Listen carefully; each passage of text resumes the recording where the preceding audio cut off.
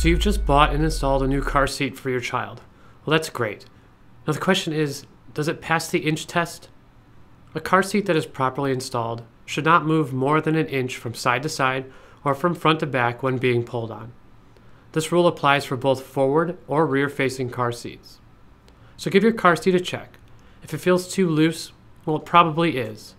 And now you have a way to double check.